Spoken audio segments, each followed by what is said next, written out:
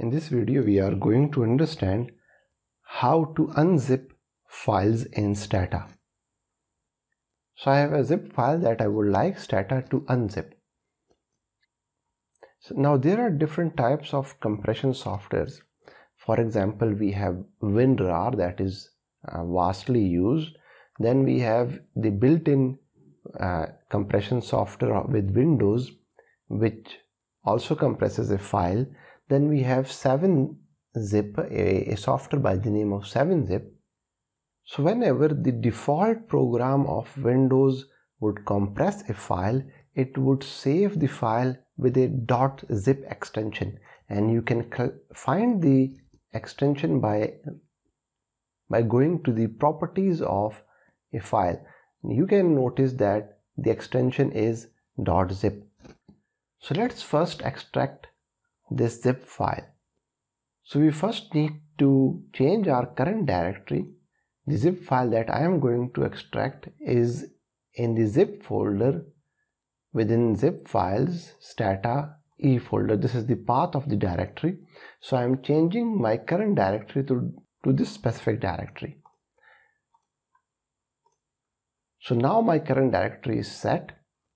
I am going to unzip the file 1 the file that I'm going to unzip its name is file1 I just click on I just write the unzip command or unzip file command and then the file name within the inverted commas. You would notice that this command would generate some result. First it would inform us that these files are unzipped.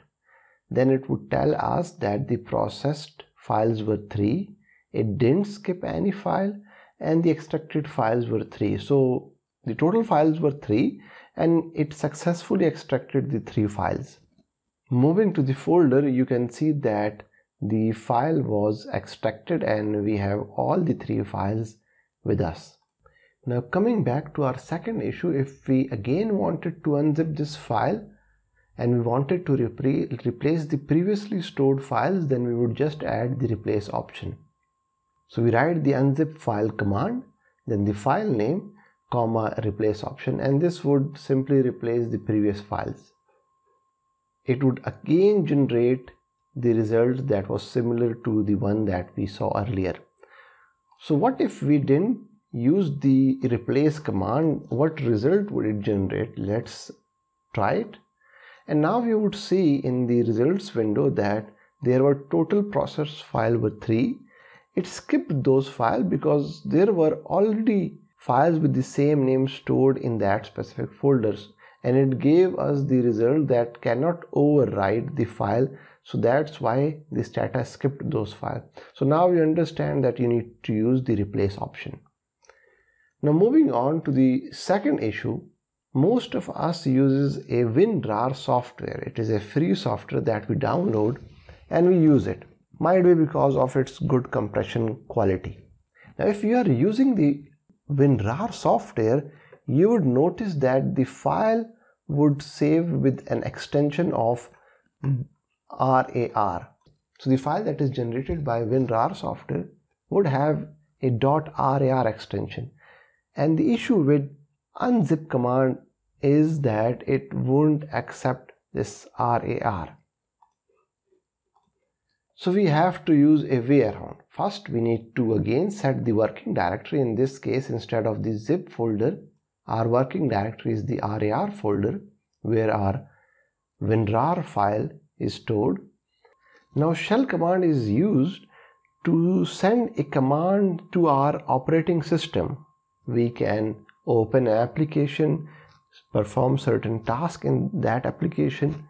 So for that we use the shell command. And in this case we are going to use the shell command to open the WinRAR software that is within our program files in the C drive. It is installed there. And we are going to use it to extract this file 2.rar which is in this RAR folder. So let's run this command and you would notice the file had been extracted. Now RAR or .zip are not just the WinRAR software. There are other fi uh, zip file formats and for those we just need to have the extension of that file format. So just in case if a file was zipped and its extension was .z so for example in this folder in others folder we have a file 3 whose extension is not .rar nor it is .zip it is just .z so we again use the unzip file command but the default extension that is assumed by the unzip file command is .zip so we override that setting by giving the specific extension. So we gave the file name .z so this .z was the extension and in if in your case the extension was different than this one it wasn't .z then you would give that specific extension. And lastly we have a folder where we have multiple files. In this case I just have two files. They both are .zip files. So we know that we are going to use the default command of unzip file so we want to extract both these files but in my case there are just two files. In your case there might be hundreds of files. So we want a command that could execute in a loop. So what we have is first we set the source directory. We set a local variable. The variable name is source directory and we give the path of the files so in my case the files are within multiple files folder then I change the working directory to the source directory variable and we know that this variable would store this path. So let me run these two commands and now the change directory had been performed, the local variable source directory had been created. Now we want to perform a loop in this case we are going to perform for each loop. So we ask stata to take all the files from the source directory folder with a zip extension. So the file name can be anything and we are using the wildcard here. And then we want to use the for each loop where stata would take each file from that source directory folder and unzip that file it would keep on running this for each loop till all the files in that folder are unzipped.